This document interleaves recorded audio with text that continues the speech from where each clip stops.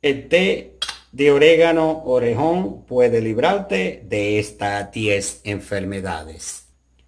Te sorprenderá un día después. Sean todos bienvenidos a Disfunción Eréctil. Les invito a suscribirse al canal y a compartir este video. Hoy como siempre le tenemos una excelente receta. Se trata de orégano orejón, orégano oreja ancha, eh, orégano poleo, dígame usted cómo lo llaman en sus respectivos países. Podríamos decirle que es un excelente remedio, se ha usado por muchos años por nuestro ancestro.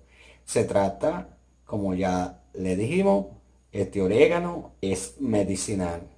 Así que vamos a hacer, esta vez va a ser una infusión.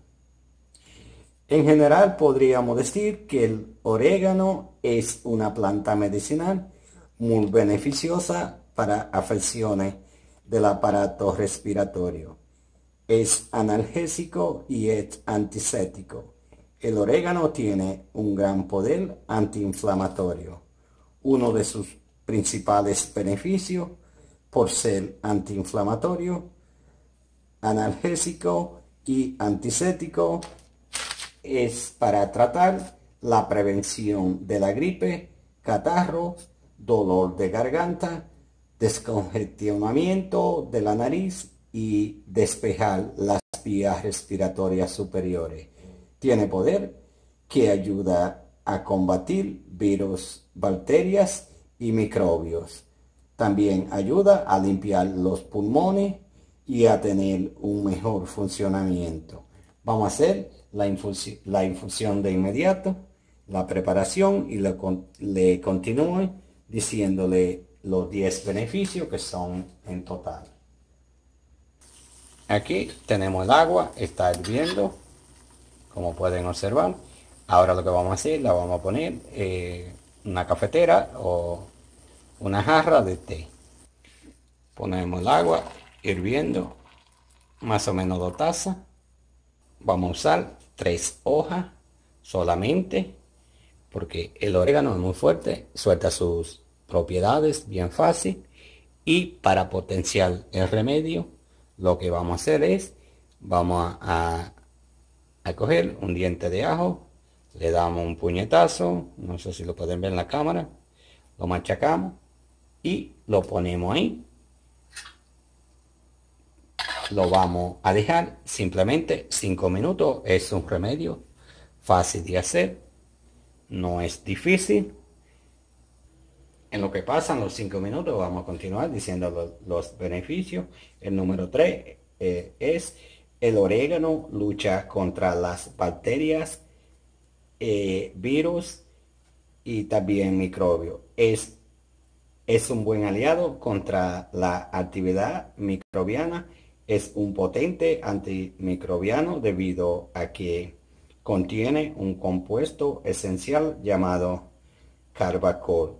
Sus propiedades son tan, tan intensas que puede aniquilar las bacterias resistentes a la meticilina y otros antibióticos. Pueden tener idea por qué es importante el orégano orejón.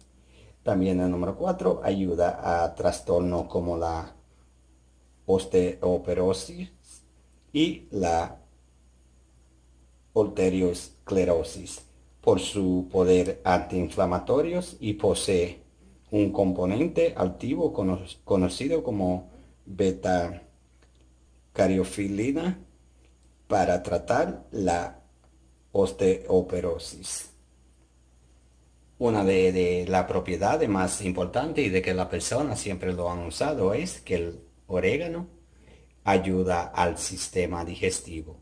Es considerado un, un tónica y cuenta con una propiedad digestiva.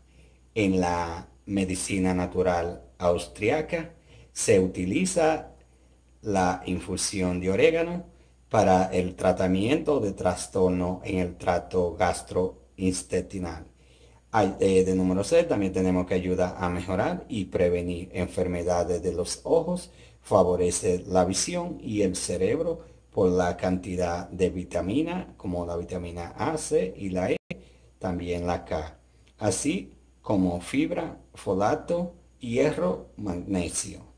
De número 7 tenemos que ayuda a fortalecer los huesos por la alta cantidad de hierro y de calcio que contiene. Número 8. En general, la infusión de orégano favorece casi toda la salud de nuestro cuerpo. Número 9. Ayuda a bajar los niveles de colesterol. A su vez, ayuda también a bajar de peso. De número 10, y por último, son muchísimas las propiedades que tiene el orégano. La infusión de orégano es importante que la practiquemos, la usemos de vez en cuando, tomarlo, porque también es bueno para la diabetes, ayuda a bajar los niveles de azúcares en la sangre, ayudando a controlar la diabetes tipo 2. Y así pausamos un poquito, exactamente 5 minutos. Ahora vamos a ver cómo se ve. Miren. Es, en infusión es la manera correcta de hacerlo. Ahora vamos a colarlo. Casi no es necesidad, pero como tiene un grano el diente de ajo, lo colamos. Ah, perfecto. Como le dije, tres hojas, un diente de ajo machacado. El ajo es opcional. Si usted no desea ponerle el ajo, pero recuerde, el ajo es un antioxidante poderoso. Esa es la forma y también es una buena combinación de hacerlo. Este té, especialmente si usted tiene problemas del estómago, de los intestinos, eh, se recomienda que lo tome en ayuna. También para relajar los músculos eh, y esa cosa para la gripa y lo pueden hacer dos veces al día, una vez en ayuna y una hora antes de ir a dormir. Así que lo puede usar eh, para malestares menores, leves, por una semana como para tratar la gripa. Y para otras afecciones, úsenlo por dos semanas, descansen una y repitan el proceso. Es importante esta infusión.